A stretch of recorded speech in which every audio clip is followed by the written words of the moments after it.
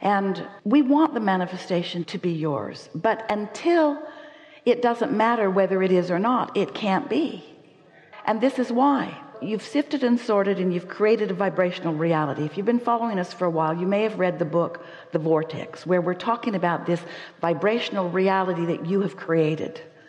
It's where everything that you've asked for is already vibrationally queued up for you. And it's ready to be manifested by you provided you get on the vibrational frequency just like the radio station is already broadcasting the song that you want to hear. And just because you don't have your tuner set to it doesn't mean that the broadcast isn't already happening.